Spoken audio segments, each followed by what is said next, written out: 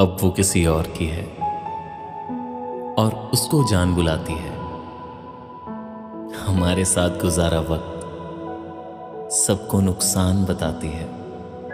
गम सिर्फ़ एक बात का है कि वो नुकसान उसने बहुत आसानी से भुला दिया।